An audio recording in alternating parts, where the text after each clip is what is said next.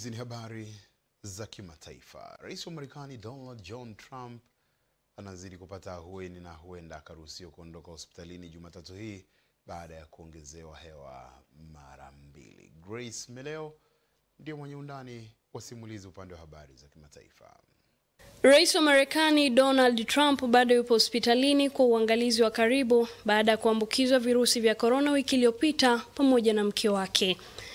Wakati huu maswali mengi yakiulizwa kuhusu hali ya afya yake, madaktari wake wanasema anaendelea vizuri na huenda akaruhusiwa kuondoka hospitalini Jumatatu hii baada ya kuongezewa hewa mara mbili. Jana Jumapili, Rais Trump alionekana nje ya hospitali akiwa ndani ya gari akiwa amevalia barakoa akiwapungia mkono wafuasi wake, hatua ambayo imelaaniwa na baadhi ya watu wanaosema ni hatari kwa afya za watu aliokaribiana nao. Rais Trump ni miongoni mwa Wamarekani zaidi ya milioni saba ambao wameambukizwa virusi vya korona huku wengine zaidi ya laki mbili wakipoteza maisha. Rais wa Uturuki Recep Tayyip Erdogan ametangaza kuunga mkono serikali inayotambuliwa na Umoja wa Mataifa nchini Libya GNA. Erdogan amekutana na kiongozi wa serikali ya Tripoli Fayez al-Sarraj ambaye mwezi jana alitangaza mipango ya kuachia madaraka katika kipindi cha wiki sita zijazo kama njia mojawapo ya mkataba wa makubaliano ya kuleta amani.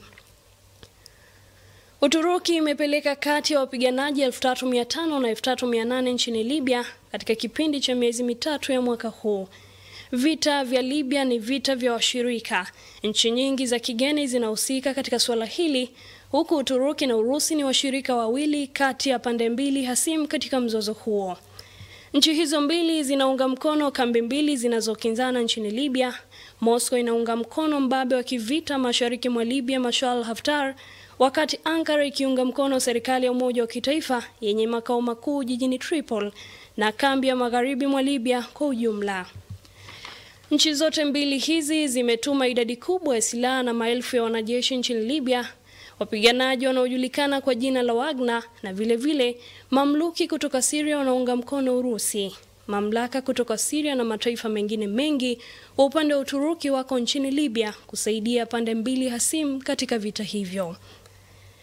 Kwa hiyo Urusi na Uturuki zinashindana nchini Libya kama vile nchini Syria. Kila siku inatafuta kuongeza ushawishi wake huku ikijaribu kutafuta maelewano bila hata hivyo kufanikiwa.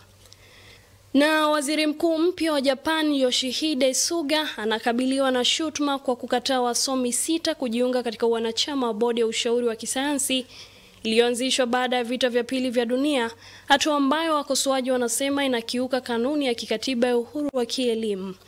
Suga alichukua hatamu za uongozi mwezi uliopita baada ya kujiuzulu kwa Shinzo Abe na amefurahia uungwaji mkono mkubwa miongoni mwa wapiga kura wanaokubali ahadi zake za kupunguza sheria, kupunguza ada za simu za rununu na kutolewa kwa huduma kwa mfumo wa kidigitali anapojaribu kufufua uchumi na kukabiliana na janga la virusi vya korona.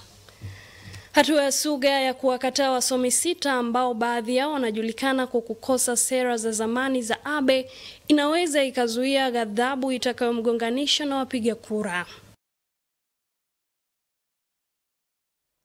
Punde ni habari za michezo na burudani.